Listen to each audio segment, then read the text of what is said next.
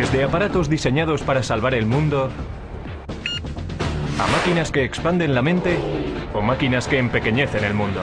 La evolución de ordenadores centrales, ratones y menús.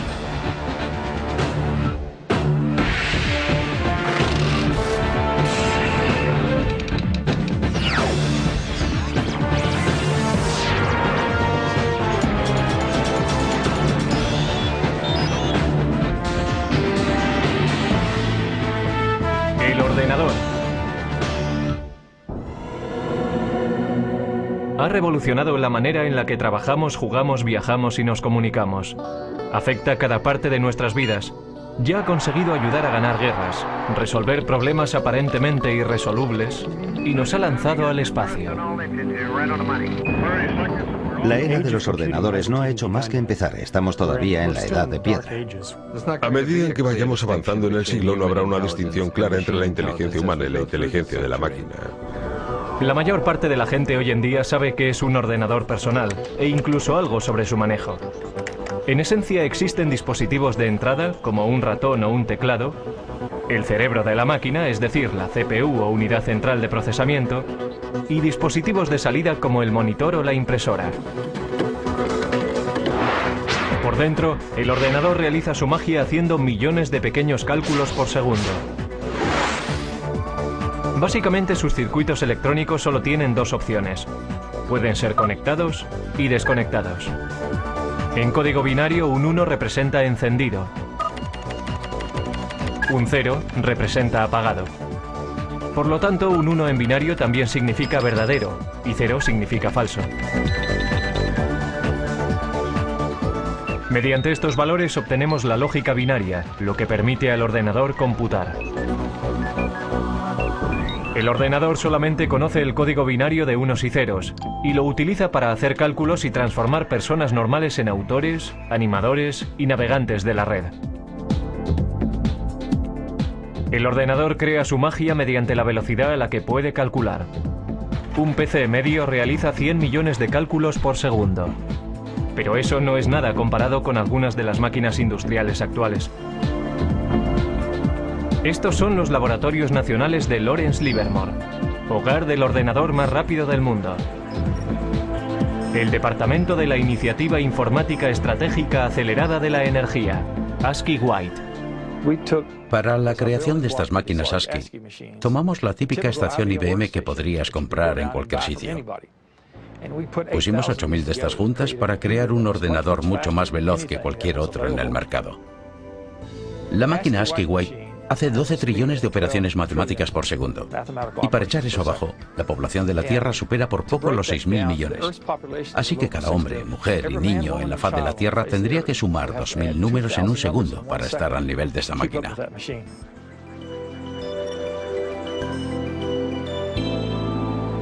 Como si fuera el guardián del silicio, el ASCII White está dedicado al servicio del país. Los laboratorios nacionales Lawrence Livermore son responsables de cerciorarse de la seguridad y la actuación de las armas nucleares de la nación. En 1992, el presidente George Bush prohibió las pruebas nucleares bajo tierra. Eso hace que sea muy difícil calcular el arsenal nuclear. Ahora los laboratorios han decidido emplear superordenadores para hacer las simulaciones y determinar la integridad de las armas que van cogiendo tiempo. Si se piensa en un arma nuclear y todos sus componentes, se empieza a comprender qué difícil es el proceso. Tenemos que ser capaces de simular cada una de las partes, la física que tiene lugar dentro de ellas. Estos simulacros son tan complicados que incluso a un ritmo de 12 trillones de cálculos por segundo llevarían semanas completar una prueba. El ordenador también tiene el poder de modelar moléculas. Esto ayuda a los científicos a diseñar experimentos antes de ir al laboratorio y entender cómo podrán ser los resultados. La manera más efectiva de obtener información del ordenador a la mente humana es mediante muestras visuales. Un enorme número de vídeos expositores de alta resolución convierte el infinito número de unos y ceros del ordenador en un increíble tapiz pixelado. Necesitamos ver el contexto, ser capaces de entender cómo encaja todo y después utilizamos esta simulación en una escala muy fina, en un bloque, un elemento para nuestras simulaciones más grandes que cubren un mayor volumen de espacio o un sistema mucho más grande. Sin estas paredes no seríamos capaces de entender este simulacro. Paradójicamente, mientras la tecnología va haciéndose más pequeña, los superordenadores como el White siguen ocupando todavía un gran espacio y una atención especial.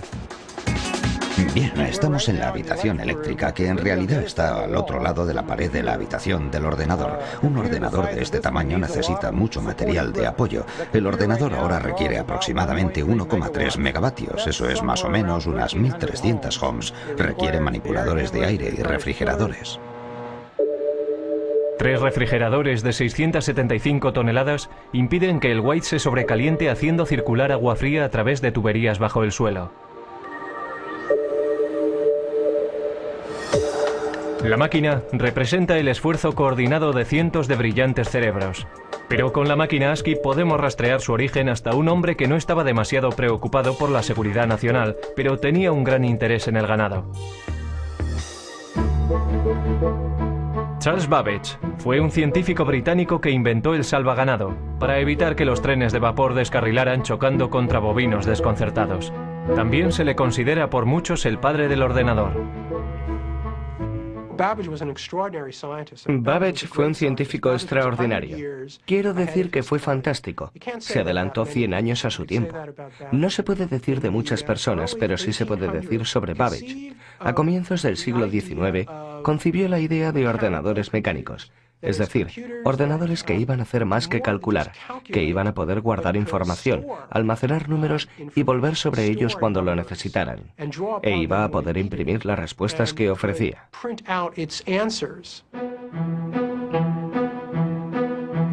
Como científico, Babbage confiaba plenamente en la precisión de tablas matemáticas, logaritmos y tablas de gravedad. Computar esos cuadros es lo que la gente conoce por ordenadores. Desafortunadamente estos ordenadores cometían errores con frecuencia, enfureciendo así a su inventor. Errar es humano, pero para Babbage ser humano no era suficiente. Primero previó un complejo sistema de engranajes y ejes que trabajaban juntos para hacer cálculos. Después de 10 años de trabajo, sin embargo, tiró el proyecto a la basura. Solo lo completó parcialmente para diseñar un aparato incluso más sofisticado. Una máquina que poseyera los componentes básicos de los ordenadores modernos. Las tarjetas perforadoras le proveían las entradas. Un mecanismo llamado el molino hacía los cálculos y el almacén guardaba los nombres como memoria. Lo llamó el motor analítico. El motor analítico hacía cálculos mecánicamente. Después de introducir los datos, el mecanismo tenía que ser accionado por una manivela, haciendo girar cientos de engranajes intrincados, ejes y ruedas numeradas para calcular los resultados. Babbage anticipó que la máquina de 15 pies de altura funcionaría a vapor por su tamaño. Pero Babbage nunca construyó una máquina. Su protoordenador se colapsó antes de que pudiera completarlo. Fue víctima de herramientas imprecisas y de la falta de fondos. Todo esto ocurrió 100 años antes de que se volviera a concebir la idea de un aparato así. Alentado por una eclosión de población en América, el siguiente paso en la evolución del ordenador vino al final del siglo XIX, cuando oleadas masivas de inmigrantes amenazaban con sobrecargar el censo americano de 1890. En 1887 la oficina del censo todavía llevaba la cuenta del recuento de 1880 a mano. Desesperados suplicaban por otra forma de tabular los resultados. Entonces fue cuando un anterior inspector del MIT llamado Hermann Hollerith introdujo una serie de máquinas que harían que el recuento del censo fuera tan fácil como contar 1, 2 y 3. Cada persona estaba representada por una tarjeta. Los individuos tenían que perforar las cajas relacionadas con su edad, sexo, raza y profesión. Los trabajadores del censo entonces introducían las tarjetas perforadas en las máquinas. La tabulación se hacía con electricidad. Al utilizar clavijas eléctricas, los resultados se registraban en una serie de diales, como si fueran relojes. Otras máquinas separaban las tarjetas.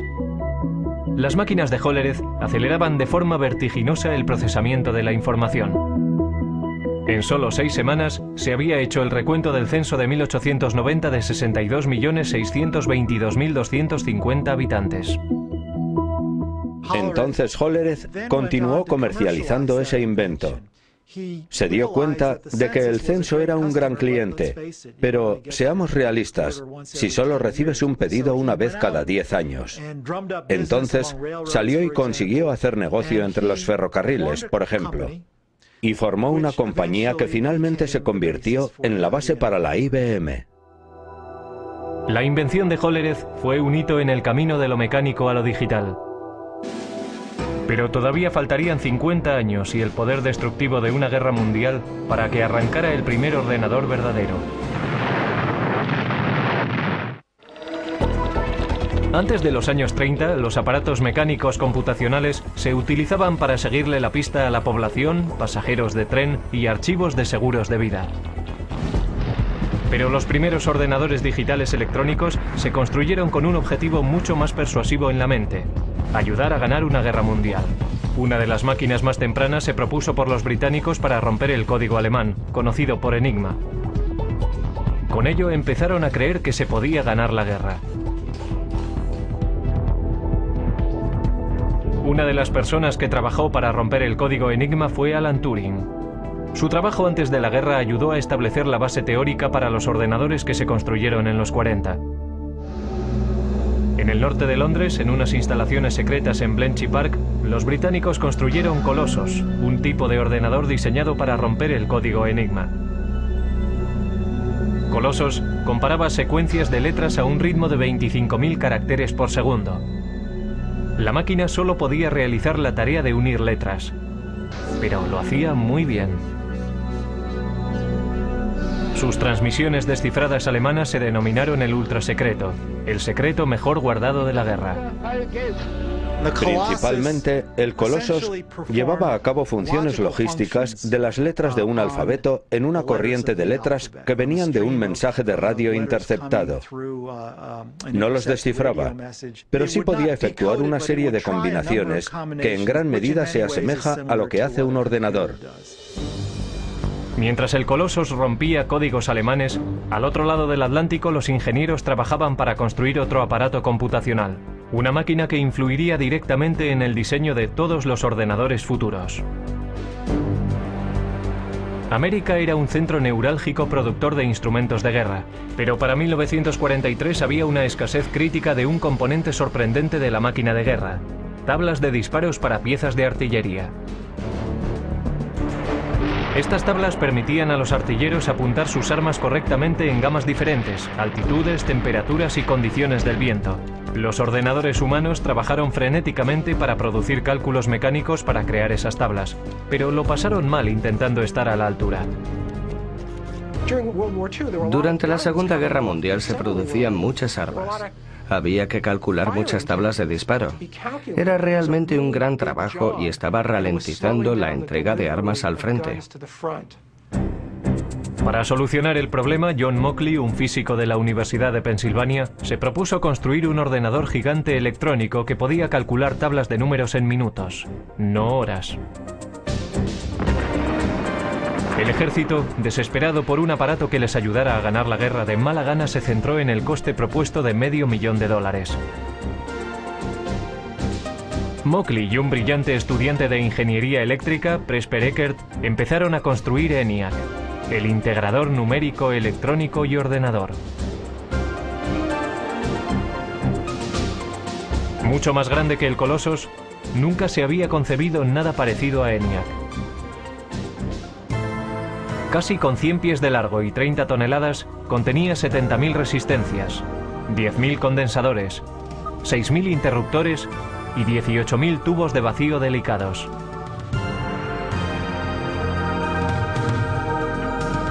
Los tubos funcionaban como bombillas. En una máquina cabían 18.000 tubos, por lo menos uno tenía que cambiarse cada pocos minutos. Después de dos años de trabajo intenso, el equipo completó el ENIAC. Tres meses después, los japoneses se rindieron. Aunque no pudo acabarse a tiempo de ayudar a acabar la guerra, ENIAC fue una máquina maravillosa. Podía realizar 5.000 sumas, 357 multiplicaciones y 38 divisiones cada segundo. Lo interesante sobre ENIAC es que tenía una capacidad de propósito general. Podía reconfigurarse para solucionar otros problemas. Y nunca hubo ningún problema para encontrar trabajo para ENIAC. Todos los servicios armados exigían tiempo para poder usarlo, también clientes industriales y universidades, así que se le mantuvo ocupado hasta bien entrados los 50. Pero a ENIAC, la máquina más compleja de su tiempo, todavía le faltaban muchas de las cualidades de un ordenador moderno. Su memoria era muy primitiva y solo podía almacenar un máximo de 20,10 números decimales. Tenía que recablearse laboriosamente cada vez que se programaba. Y no podía tomar decisiones lógicas basándose en sus cálculos. Pero ENIAC ya había demostrado que los ordenadores se podían construir.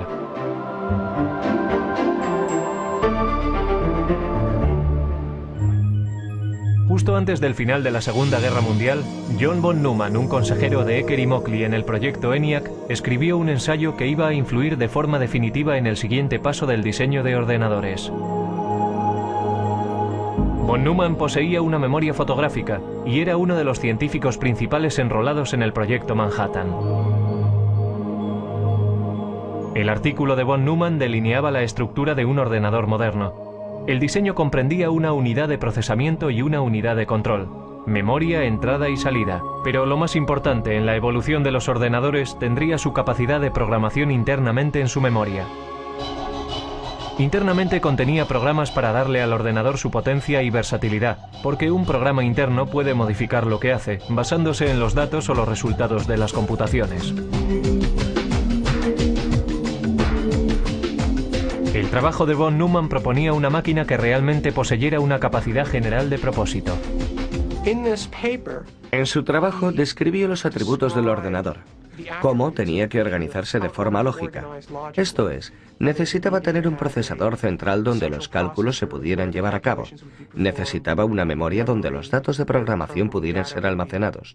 Y necesitaba tener una unidad de salida y una unidad de entrada de algún tipo. Trazó el plan lógico, el mapa para un ordenador, y señaló la dirección que había que tomar para el futuro. La idea para almacenar programas internamente era la última llave para desarrollar el verdadero ordenador con un propósito general. Pero si fue o no la idea de von Neumann es algo que se ha debatido con vehemencia recientemente. Ecker y Mockley, que habían trabajado con von Neumann, dijeron que habían formulado programas internos como parte rutinaria de su trabajo al construir ENIAC. Sin embargo, Ecker y Mockley no fueron incluidos como autores en el artículo y se sintieron traicionados. Pero al darse cuenta de que el ordenador encontraría un lugar en el mundo de los negocios, Ecker y Mockley formaron su propia compañía. Empezaron a trabajar en una máquina que llamaron Univac, Ordenador Universal Automático, a diferencia de sus predecesores, Univac era una máquina amable, diseñada para solucionar problemas científicos o militares. Podía diseñarse para satisfacer varios propósitos. El Univac también constituía el primer ordenador en poder fabricarse en masa y venderse comercialmente. La máquina podía ser programada para toda una serie de tareas de procesamiento de datos como nóminas, inventarios y facturación. Unidades de cinta compactas y magnéticas almacenaban datos y los resultados se imprimían automáticamente. Todavía muy poca gente entendía qué grado de utilidad tendría un ordenador. Esa percepción cambió drásticamente en la noche electoral de 1952, cuando la CBS utilizó el Univac para predecir el resultado de la carrera presidencial entre Eisenhower y Adelaide Stevenson. Los sondeos decían que la carrera presidencial estaba muy justa, el Univac calculaba de otra forma. Los ingenieros introdujeron los resultados de los precintos seleccionados del este, antes de que cerraran los colegios electorales en el oeste. Los expertos pensaron que había sido una carrera muy apretada, pero el Univac predijo una victoria electoral arrolladora para Eisenhower. Incluso la CBS no creyó lo que decía el ordenador y dudó en dar a conocer sus resultados. Pero al final el Univac tenía razón. El poder y la utilidad del ordenador habían sido probados. Después del éxito del Univac, varias empresas empezaron a ver un futuro en el desarrollo de los ordenadores. IBM empezó a darse cuenta de que los ordenadores serían cada vez más pequeños, más baratos y más fáciles de manejar, y que habría un lugar en los negocios para estas máquinas que, desde luego, a la larga, sustituirían a la tecnología de las tarjetas perforadoras. Para comienzos de la década de los 60, IBM dominaba el gran mercado de los ordenadores. Los negocios empezaban a depender de los ordenadores. Las máquinas se iban haciendo cada vez más pequeñas, gracias al cambio de tecnología de tubo a los transistores a la tecnología de los transistores. Y la carrera hacia la Luna iba a hacer que los ordenadores fueran aún más pequeños. En 1961 Norteamérica iba a la zaga de Rusia en la carrera por el espacio. En el incesante intento de ganar a los rusos, el objetivo de la NASA era que el hombre llegara a la Luna. No iba a resultar fácil. Cuando comencé a trabajar en la NASA en 1962, el primer día me dieron una regla de cálculo de 20 inch. Nuestros cálculos se hacían principalmente en calculadora de bolsillo. Teníamos un número de personas a las que asignábamos nuestras hojas de datos y su trabajo consistía en trabajar con sus pequeños cálculos. Pero los astronautas no podían confiar en reglas o calculadoras de bolsillo en el espacio. La misión requería un ordenador guía sofisticado. A principios de la década de los 60, sin embargo, una máquina tan potente como la que necesitaban ocupaba toda una habitación. La NASA intentó reducir el tamaño del problema.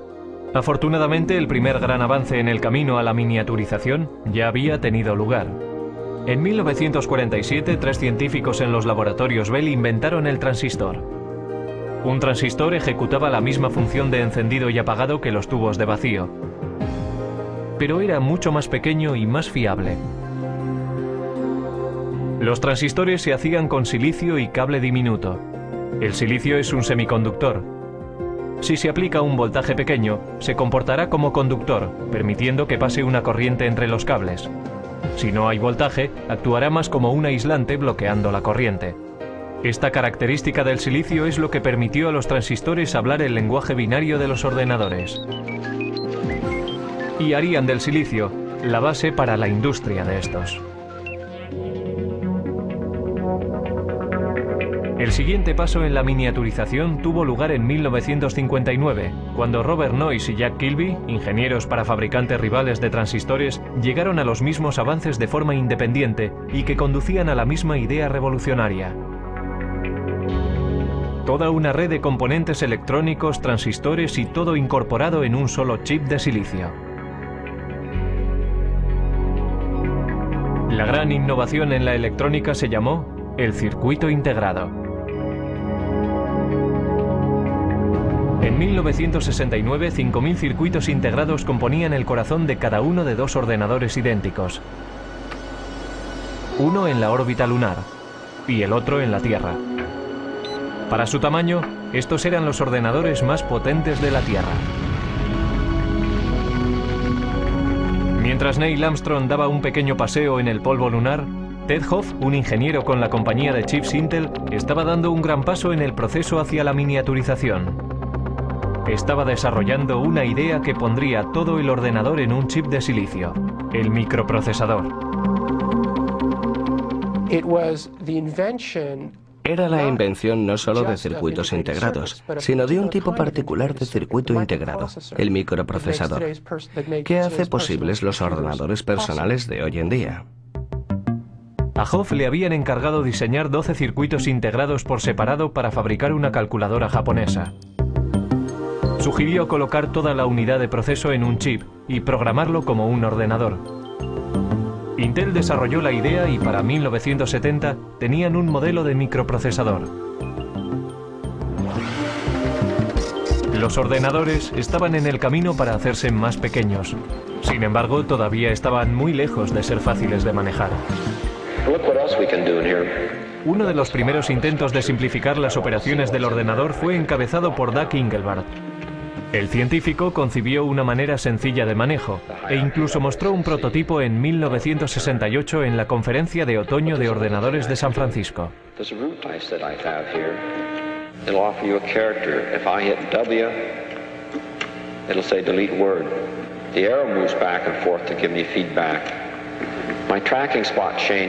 Soldando un teclado y un aparato para señalar que llamó ratón, Engelbart trabajaba con un ordenador a 30 millas de distancia, unido por microondas, y demostró que se podía procesar palabras en un hipertexto. Muchos en aquella audiencia se fueron a casa realmente inspirados, pero solo un grupo iba a completar la visión de Engelbart. Ese grupo estaba a muy poca distancia, en Xerox Park. Xerox creyó que el futuro podía estar en los ordenadores y comenzó a construir una máquina de fácil manejo. En 1973, Xerox introdujo el Alto, que incorporaba muchas de las innovaciones en ordenadores personales que hoy en día damos por supuestas. El Alto tenía un ratón, una interfaz gráfica. Estaba construido de forma interconectada e imprimía en una impresora láser. Debería haber revolucionado la industria, pero a 18.000 dólares cada máquina. El Alto no estaba diseñado para particulares. Los ordenadores todavía eran máquinas élite, propiedad del gobierno o de grandes empresas y universidades. En el pasado, los grandes ordenadores centrales procesaban nóminas, guardaban el rastro de archivos, seguían la pista y hacían cálculos científicos. Si una facultad tenía la suficiente suerte como para acceder a un ordenador, los estudiantes y los profesores compartían tiempo en ellos. Pero el mercado del chip estaba creciendo, la velocidad de procesamiento crecía y los precios bajaban. La revolución estaba al alcance de la mano, y la carga no sería liderada por una gran empresa, sino por un grupo de aficionados e ingenieros librepensadores. Dos de aquellos revolucionarios fueron Steve Jobs y Steven Bosniak. A mediados de los 70 empezaron a fabricar un ordenador pequeño en un garaje de Palo Alto. Lo llamaron el Apple One. Steve Jobs era un estudiante de universidad que había abandonado los estudios, pero era diferente. Era muy inteligente, muy avispado. También era extremadamente ambicioso. Pero quizás más importante que eso, conocía a otro Steve, Steve Bosniak, que era un brillante ingeniero de hardware. Al ir abaratándose los chips, algunos nada caros, empezaron a aparecer kits de ordenadores de automontaje. Uno de estos primeros kits apareció en la cubierta de Popular Electronics en 1975. Se llamaba el Alter. El Alter se planteó como el primer kit de mini ordenador para rivalizar con modelos comerciales. Muchas personas se interesaron en él a 400 dólares cada kit. Estos primeros ordenadores, anteriores a los primeros Apple, eran en realidad para técnicos e ingenieros informáticos que tenían conocimiento de cómo conectar cables y conectar otros dispositivos y hacerlos trabajar. Así que pensé, compraré unos cuantos chips, un microprocesador y diseñaré mi propio ordenador. No fue que quisiera burlarme del mundo, era solo que quería hacer de este ordenador algo más personal que los interruptores que tienen posiciones arriba y abajo para introducir extraños números binarios. Steve Jobs vendió su Volkswagen y Steven Bosniak vendió su calculadora HP para financiar su empresa. En 1977 introdujeron el Apple II, un ordenador atractivo, independiente y un teclado. Con la adición de un monitor y un drive para un disquete, el aspecto de un ordenador personal empezaba a cobrar forma. El Apple II se estandarizó con 4 kilobytes de memoria y a un precio base de 1.200 dólares, era mucho más barato que las máquinas industriales anteriores. El Apple II ayudó a convertir al PC en un aparato de fácil manejo. El comprador no tenía que pasar tiempo soldando las partes meticulosamente. La persona podía inmediatamente empezar a programar el ordenador o comprar software desarrollado por florecientes compañías de software. Con la esperanza de quitarle una parte de la cuota de mercado, en 1981 IBM introdujo su versión de un aparato ordenador personal, conocido simplemente por PC. Las ventas continuaron creciendo a principios de los 80. Pero antes de que el ordenador personal inundara todo el planeta, la máquina todavía había de simplificarse para el usuario, algo que cualquiera pudiera manejar. Los primeros ordenadores Apple, igual que los tempranos ordenadores personales, no tenían interfaces gráficas, no tenían ratones. Tenían lo que se conoce como una interfaz con línea de comandos. Esto es, uno tecleaba las instrucciones en el ordenador y las instrucciones aparecían como texto en la pantalla. Inspirados por el trabajo llevado a cabo en Xerox Park, Apple tomó muchas de las mejores características de los ordenadores de palo alto, como la interfaz gráfica y el ratón, los mejoró y fabricó una máquina al alcance del bolsillo. Apple introdujo el ordenador Macintosh en 1984. Lo que hizo que el Macintosh fuera un ordenador fácil de usar era su sistema operativo y sus aplicaciones, conocido como software. El software es la lista de instrucciones que le dicen al ordenador lo que tiene que hacer, si tiene que comportarse como un tratamiento de textos o como una hoja de cálculo. Cada vez más, el software dominaba los avances que se hacían en la informática. Y Bill Gates, el joven presidente de una compañía de software llamada Microsoft, estaba allí para capitalizarse en el mercado creciente. Finalmente se convertiría en un gran nombre conocido, apostando por su visión en un vasto imperio de software y convirtiéndose en el hombre más rico del mundo. De vuelta a 1981, IBM decidió utilizar el sistema operativo de Microsoft, conocido como PC2. Mientras iban surgiendo los primeros clones de IBM en el mercado, Microsoft era libre para vender el sistema MS2 para también rivalizar con las compañías de ordenadores. IBM no intentó aferrarse al software y al hardware y tenerlos en dos compañías diferentes. Era genial para Microsoft. Todo el mundo podía venir y construir un ordenador Intel y Microsoft tenía el sistema operativo. Así que lo que pasó fue que entrabas en una tienda en aquellos días y marca tras marca todos los ordenadores ya eran compatibles y de pronto veías un Macintosh. La imitación es la forma más sincera del halago. Pero Apple no se sintió halagada cuando Microsoft introdujo su plataforma Windows para PC. Windows imitaba, algunos dicen que robó, la interfaz gráfica, descargó menús y todo lo que Apple había popularizado. Existe la idea de que Bill Gates vino a Apple y copió el aspecto gráfico y el uso que después condujeron a Windows, porque cualquiera, una vez visto, no hay que verlo durante mucho tiempo. Bueno, ya sabes, este es el futuro. Y una vez cruzas la puerta, ya no hay vuelta atrás. La verdadera historia es que nosotros necesitábamos software y Gates tenía una empresa, Microsoft, que escribía software, así que tuvimos que enseñarle un ordenador y darle copias para que lo escribiera. No había otra manera. Y no lo llamaría robar exactamente. Es como ser un oportunista y buscar en los lugares apropiados y negociar la manera como lo quieres.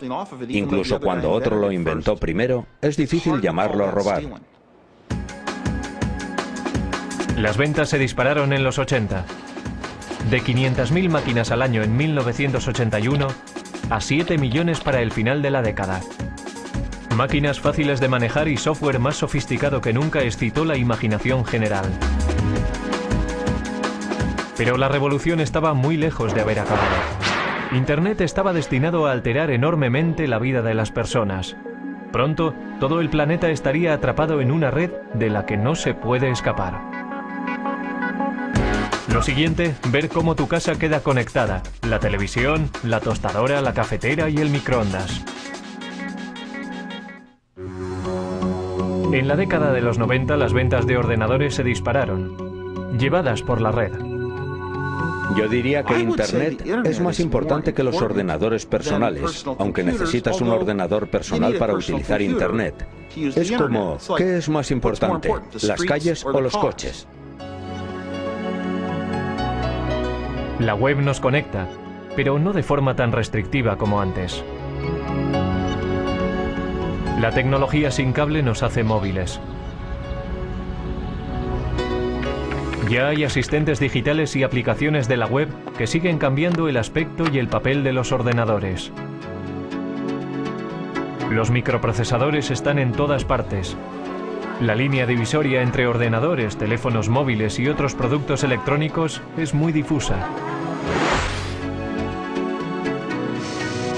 Es el continuo empequeñecimiento de la tecnología del chip lo que está espoleando la evolución. Lo que tengo aquí es una unidad de fabricación de tecnología de silicio. Y este ejemplo concreto es una lámina de microprocesador de Pentium 3. Eso es más o menos de 8 inches de diámetro y tiene capacidad para 200 microprocesadores Pentium 3.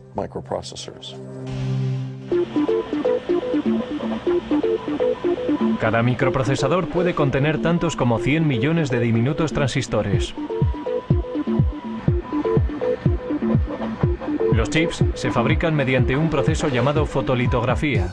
Los fabricantes de chips empiezan por ponerle a una lámina de silicio una capa de un material fotosensible. Los científicos entonces hacen una plantilla del diseño que quieren mediante el grabado en un metal fino con un rayo de electrón. Los rayos ultravioleta brillan a través de la plantilla y bajo el chip fotosensible, causando una reacción química y creando el sistema de circuitos. Un chip se fabrica colocando capa tras capa. Estos chips, que son básicamente microordenadores, están encontrando su lugar en aparatos inteligentes. Hay discretos ordenadores escondidos en los aparatos del día a día y hablan entre ellos vía web y mediante otras tecnologías sin cable. Resulta que todos estos aparatos, todas estas cosas que están en casa, y realmente tenemos unos 100 microprocesadores diferentes, se conectan a Internet. Todas se pueden conectar a una red en casa y permiten a las personas conectarse a todos los recursos que existen en Internet. Pero hablar a tus aplicaciones por teléfono no es una idea nueva. And this lady, she's calling her oven. Sound funny? Actually, it's something that could happen in the future, thanks to a Westinghouse idea still in development that makes it possible to operate your appliances by telephone. Probablemente llama o manda un mensaje. Hoy puede que no veamos la necesidad de llamar a nuestros hornos, pero ¿no estaría bien que nuestro frigorífico hiciera la compra? Vamos a ver qué tenemos para cenar esta noche. Traigo una lista de la compra. Estos son productos que ya sé que necesito. Productos que he consumido durante la semana. Y vamos a ver qué podríamos necesitar. Así que iremos al armario a ver qué es lo que tenemos allí. Tengo la mayoría de las cosas, pero estos dos ingredientes quiero añadirlos a mi lista de la compra. Así que hago clic aquí y se añadirán a mi lista de la compra. Así que ahora lo que puedo hacer es coger mi lista de la compra y o bien la descargo a un teléfono con base web y si hago clic la lista vendrá aquí. Puedo hacer también que vaya a un PDA o lo que puedo hacer es mandarlo a streamline.com y hacer que me lo pidan y me traigan la comida a mi casa desde aquí.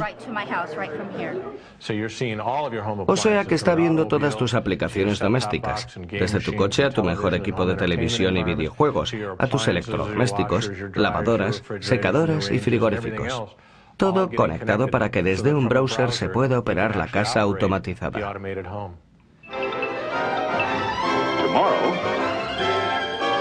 Westinghouse telephone control may allow you to feed your pets,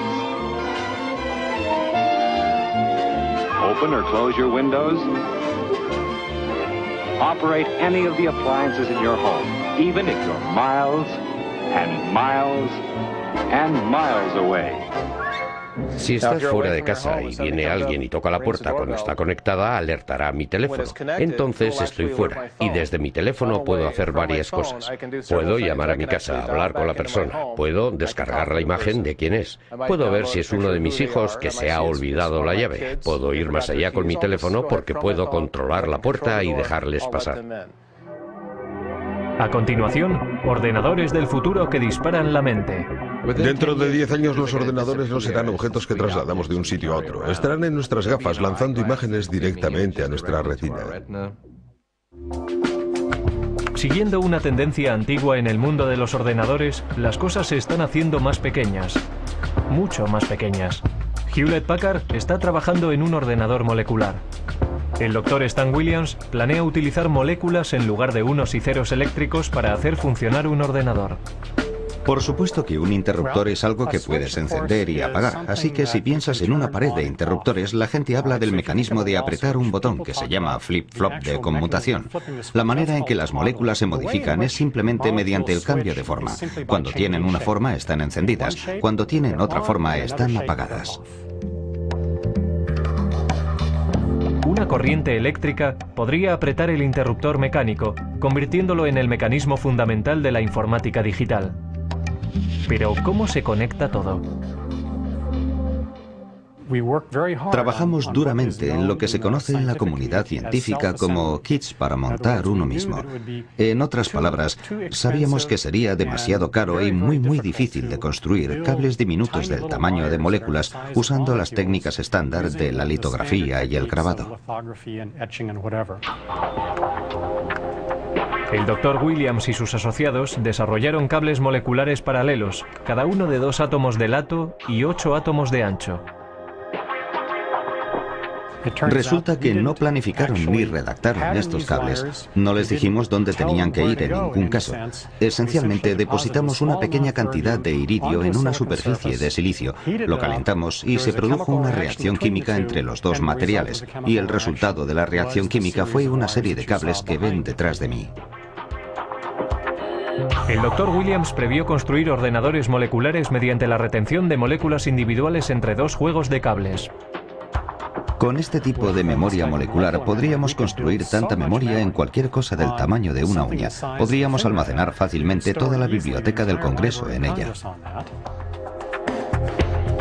Otras investigaciones están trabajando en futuros ordenadores que puede que utilicen ADN o incluso partículas de cuanto.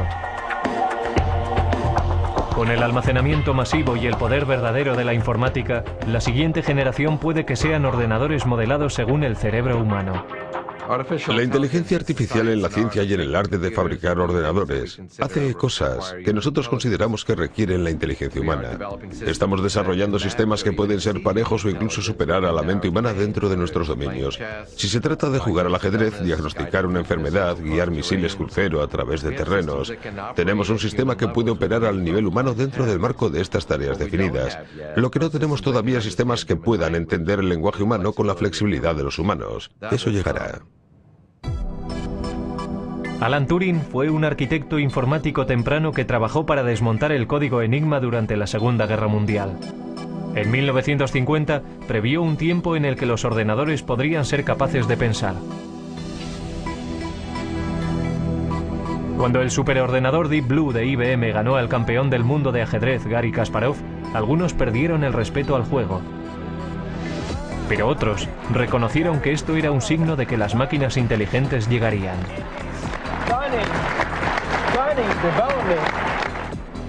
La electrónica molecular podría incluso borrar la línea entre el hombre y la máquina.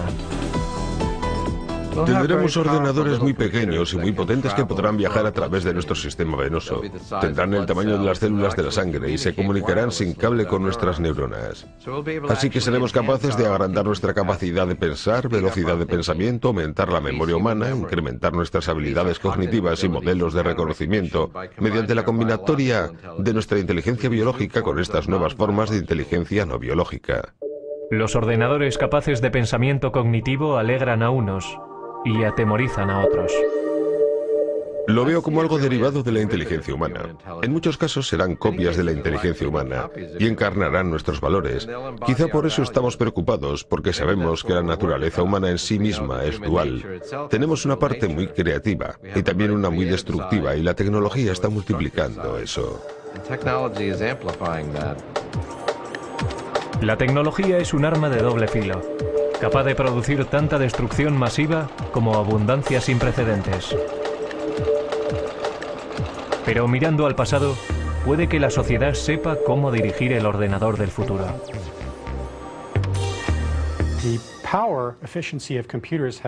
El poder eficaz de los ordenadores se ha incrementado por un factor de 100 millones en tan solo 50 años.